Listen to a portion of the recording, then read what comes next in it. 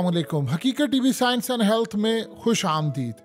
देखिए पूरी दुनिया में मुसलमान ईद मना रहे हैं और ईद से पहले जो डेवलपमेंट हो रही है और ईद में जो होगी और उसके बाद होगी वो बड़ी तबाहकुन है। और आ, किसी को अंदाज़ा नहीं है कि इस ईद पर क्या हो जाए। सूरत हाल ये पैदा हुई है कि इस वक्त इसराइल ने ईरान को पैगाम ये दिया है अमेरिका और दीगर ममालिक के थ्रू।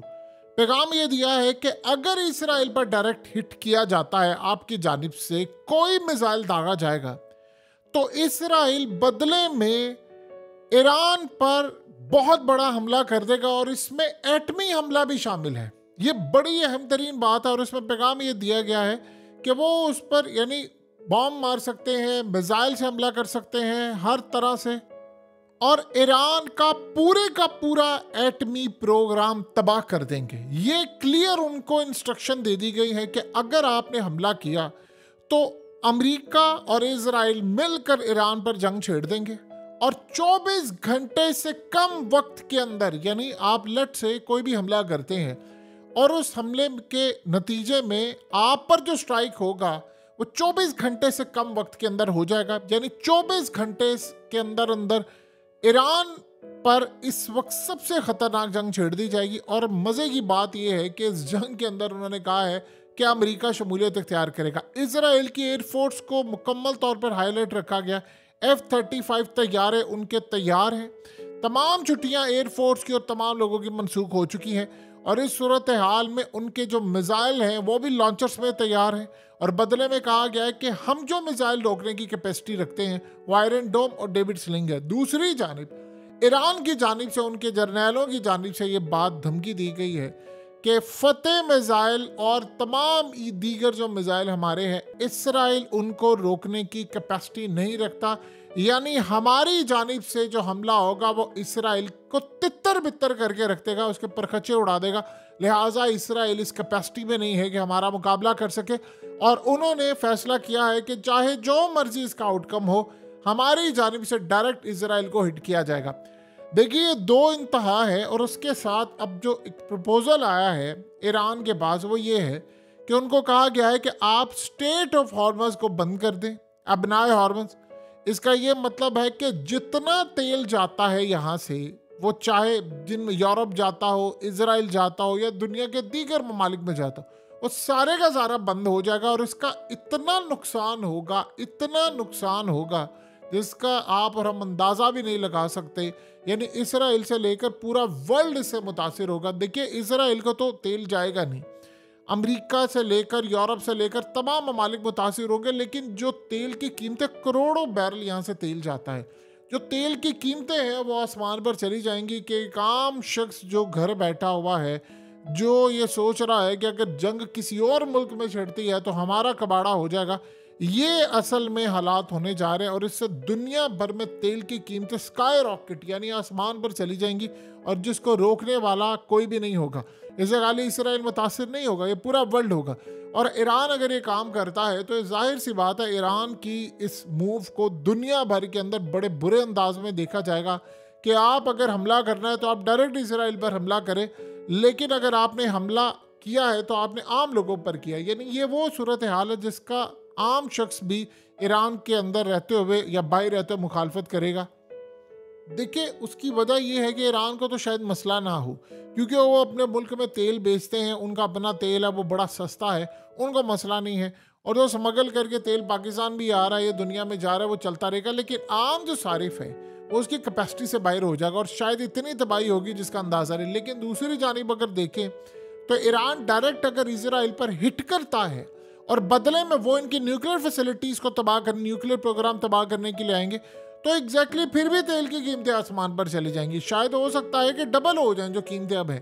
तो दोनों स्नैरियोज इस वक्त ये बता रहे हैं कि तबाही देखिए, इसका आप अंदाज़ा लगा लें कि दुनिया के अंदर इस वक्त हालत ये हो चुकी है कि अगर ये तेल की कीमतें जाती है तो उसका चाइना पर कितना बड़ा असर पड़ेगा। चाइना के अंदर ये जितने लग्जरी ब्रांड्स हैं इस वक्त ख़ास तौर पर आप ये देखिए Barbari Louis Vuitton Gucci Dior और ये जितने भी ब्रांड्स हैं, उनकी सेल ऑलरेडी ड्रॉप हो चुकी है चाइना के अंदर।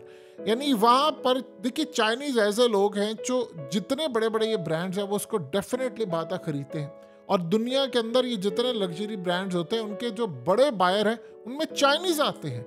यानी आप आम चाइनीज़ को छोड़ें कि वहाँ पर जो लोग हैं, जो अच्छे खासे हैं, वो हमेशा ब्रांड इस्तेमाल करते हैं। बड़ी बड़ी जो सेल्स होती हैं वहाँ पर बीएमडब्ल्यू से लेकर दुनिया, यानी टेस्ला से लेकर हर बड़े ब्रांड की लग्जरी ब्रांड्स की, वो तमाम के तमाम चाइनीज़ है। अब वहाँ पर इन ब्रांड्स की सेल्स ड्रॉप हो गई है और ड्रॉप होने की वजह वहाँ पर इकोनॉमी स्लो डाउन हो गई है। तो वहाँ पर आप अब आप अंदाज़ा कर लें कि इतने इतने बड़े ब्रांड जो हैं, उनकी सेल ड्रॉप होना शुरू हो गई है और अगर ये हालात पैदा हो जाए तो फिर चाइना साइड से बात है, वहाँ पर तो तेल की कीमतें आसमान पर चली जाएँगी, वहाँ पर वो भी हालात ख़राब होंगे और दुनिया के अंदर जो तूफ़ान आएगा उसको बर्दाश्त करना मुश्किल है।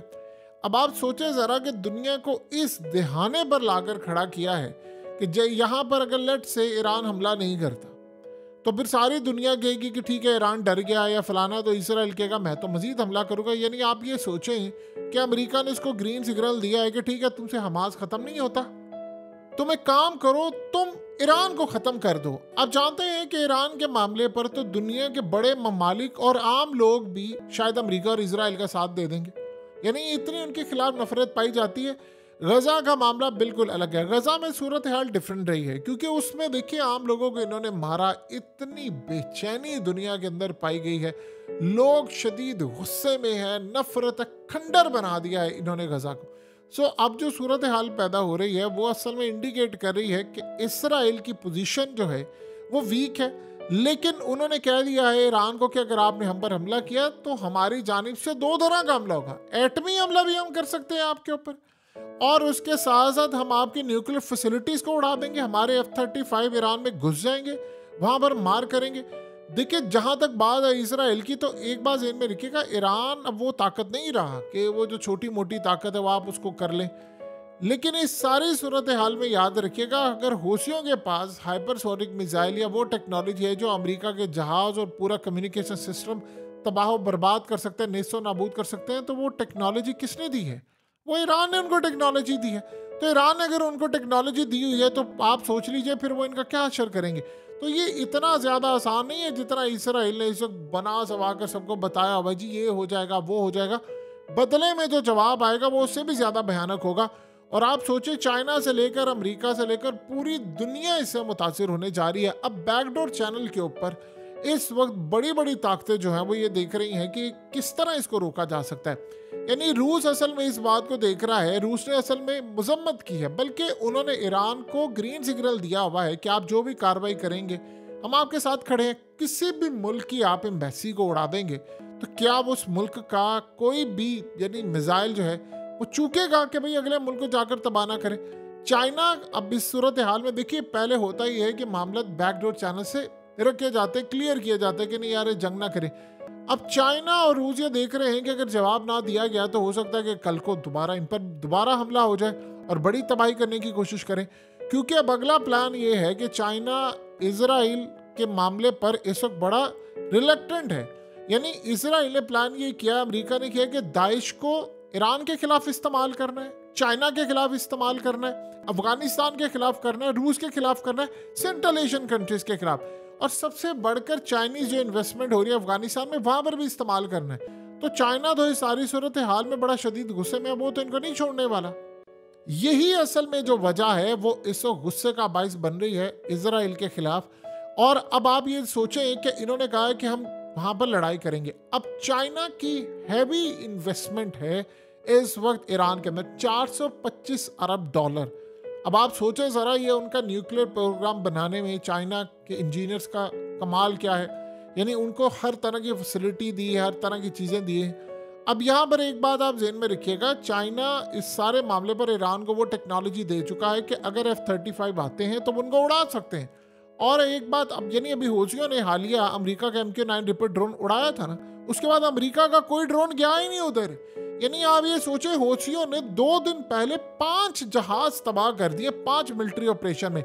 दो इसराइल के, एक अरेबियन सी में और जो एक इंडो पैसिफिक, यानी इंडिया के अंदर जाकर उन्होंने उनके समंदरों में। उसके अलावा बरतानिया और अमेरिका, यानी टोटल पाँच तबाह किए हैं। आप इमेजिन कर लें, अमेरिका, बरतानिया और इसराइल के पाँच शिप पर उन्होंने जाकर मिसाइल दागे हैं, तबाह कर दिए उनको।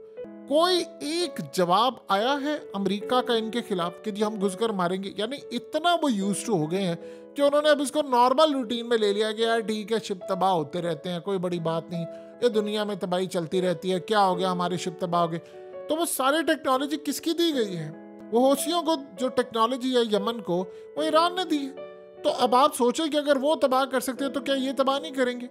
सबसे बड़ी बात यह है कि पूरे का पूरा, यानी दुनिया के अंदर जो तेल का बहरान है, वो और अमेरिका की जो मिलिट्री बेसिस हैं, पूरे खत्े के अंदर, वो तबाही का शिकार हो जाएँगी। यानी अमेरिका की मिलिट्री बेसिस ये सूरत हाल होगी कि जिन ममालिक की तो ईरान के साथ अंडरस्टैंडिंग हो जाएगी। वो अमेरिका को कहेंगे कि हमारी मिलिट्री बेसिस आपने ईरान के खिलाफ इस्तेमाल नहीं करी और आप यहाँ से चले, हो सकता है वो इनको खाली करवा दें।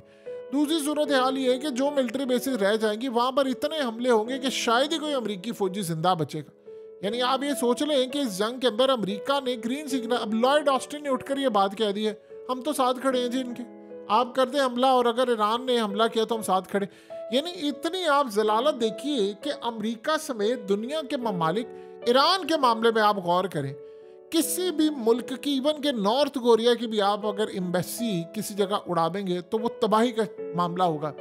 इन लोगों की हालत ये हो चुकी है कि ईरान की एम्बेसी उड़ाई है तो दुनिया में आपने देखा किसी ने मजम्मत नहीं की।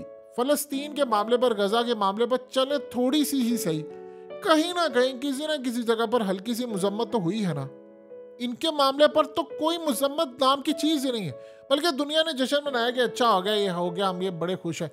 सो अब सूरत हाल ये पैदा हो रही है कि ईरान ने फैसला किया है। देखिए, ये ईद बहुत भारी होने वाली है पूरी दुनिया के ऊपर। और ये किसी को नहीं पता कि इस ईद के दौरान कोई मामला हो जाए, ईद के बाद हो जाए, कब हो जाए, क्या सूरत हाल हो जाए कि दुनिया के अंदर ईद मनाई जा रही। बताएँ इस वक्त जो फ़लस्तीन के साथ या गज़ा के साथ कि क्या ईद मनानी है दुनिया के अंदर। बेहिसी लोग इतना अपसेट हैं कि वो ईद वहाँ पर चल रही है और यहाँ पर तबाही की सूरत हाल है। यानी लोग सोचते थे कि हो सकता है रमज़ान में बंद हो जाए ये तबाही। कोई तबाही बंद नहीं हो रही, लड़ाई भी जारी है, उसी तर्ज पर जारी है। और इस सारे मामले पर अब एक नई लड़ाई हमारे सामने खड़ी हुई है। देखिए, दूसरा मामला ये है कि इस वक्त इसराइल की बहुत सारी जो फोर्सेस हैं, वो साउथ गजा से वापस आ गई हैं। अब वो कर रहे हैं कि उन्होंने अपनी पोजीशन बड़ी स्मार्ट रखी हुई है क्लियर रखी हुई है कि हमारा अब जो मेन फोकस है, वो अपना मुल्क बचाना है, ईरान से बचाना है। ईरान ने असल में तकरीबन उनके तेरह ऐसे मिज़ाइल हैं, जो इसराइल को हिट कर सकते हैं। और उनमें छह मिज़ाइल ऐसे हैं, यानी रेंज के हैं, जो अगर वो इसराइल को हिट करे तो कोई उनका डिफेंस सिस्टम उसको नहीं रोक सकता। देखिए हिजबुल्ला ने जब हमले किए थे, और इन्होंने इनकी जो डिफेंस यानी उसकी लेयर तीर को तबाह किया तो आप देखिए, दो आयरन डोम की बैटरीज इन्होंने उड़ा दी थी। तो उससे ईरान ने काफ़ी अंदाज़ा लगा लिया था कि किस लेवल पर अगर हम हमला करते हैं इसराइल पर तो वो इसको सह सकते हैं, तबाही का शिकार हो सकते हैं, कुछ नहीं हो सकता। अब आप ये सोचें कि ईरान अगर प्रॉक्सी के ज़रिए हमला करता, अमरीकी मीडिया ने यह कहना शुरू कर दिया है कि जब से अमेरिका ने धमकी दिया है ईरान को तो वो कह रहे हैं कि जी अपनी प्रॉक्सी के ज़रिए हमला करेंगे, यानी गुलान की हाइट्स पर। देखिए, जब तक कोई भी हमला होता है, चाहे वो प्रॉक्सी के ज़रिए हो या डायरेक्ट हिट हो, अगर जब तक कोई 20-25 इसराइल के फौजी मिलिट्री लेवल पर जाकर तबाही का शिकार नहीं होते तो ये आप जेन में रख लीजिएगा कि फिर शायद दुनिया के अंदर हम लोग यही देखेंगे कि इसराइल कल को जाएगा, फिर हमला करेगा। इसराइल के लिए मसला ये है कि ईरान ने कहा है कि हमारे पास इस वक्त एटमी, यानी उनकी फैसिलिटीज़ जो है, वो इस लेवल पर चली गई हैं कि अमेरिका के वाशिंगटन टाइम्स ने खबर ब्रेक किया वाशिंगटन पोस्ट ने भी की हुई है कि ईरान इस वक्त एटमी ताकत बन चुका है। उसके पास पाँच न्यूक्लियर हथियार हैं, पाँच न्यूक्लियर वॉरहेड और उन्होंने कहा था कि मई के बाद, यानी मई जून के बाद ईरान का प्लान ये था कि कम अज कम मेरे पास 20 22 न्यूक्लियर वॉर हेड हो जाए। तब मैं जाकर दुनिया को डिक्लेयर करूँ कि हाँ जी, मैं एटमी ताकत बन गया और देखो मेरे पास कितनी फैसिलिटीज़ है। ये असल में उनका प्लान था। अब उससे पहले एक हमला हो जाना और इसराइल का, ईरान को कहना कि मैं तुम्हारे आकर न्यूक्लियर फैसिलिटीज़ तबाह कर दूँगा। उनका ख्याल ये था कि अगर अमेरिका और इसराइल को ही हमारे तबाह भी कर दें न्यूक्लियर वार हेड तो हमारे पास इतनी बड़ी तादाद के अंदर मौजूद हो। क्योंकि इन्होंने जो इस वक्त हथियार इस्तेमाल करने और बंकर बस्टर बम इस्तेमाल करने हैं जो कि कंक्रीट की जो अंदर, यानी इन साइड होते हैं, जो भी बंकर इन्होंने बनाए जेर ज़मीन, उसको वो तबाह कर दें। सो अब सूरत हाल देखने वाली होगी कि अगले कुछ अरसे के अंदर हालात क्या बता रहे हैं, किस जानी मामला जा रहा है। लेकिन एक बात तय है कि ये ईद का टाइम और आने वाले वक्त के अंदर, ईद के बाद और उसके बाद की जो सूरत हाल है, वो दुनिया भर के लिए इतनी आसान नहीं है जितनी समझी जा रही थी। और शायद हम एक बहुत कड़ा और मुश्किल वक्त देखने जा रहे हैं। हकीकत टीवी साइंस एंड हेल्थ की इस वीडियो के नीचे कमेंट ज़रूर कीजिए, अपनी राय का इजहार ज़रूर करें और इस वीडियो को हर जगह शेयर करते हुए चैनल को सब्सक्राइब ज़रूर करें।